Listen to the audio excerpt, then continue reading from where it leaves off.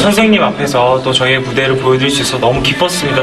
선생님께서 굉장히 편하게 해주셔서 네. 네, 네. 편하게 잘할 수 있었던 것 같습니다. 패티김쇼 너무 즐거웠습니다. 즐거웠습니다.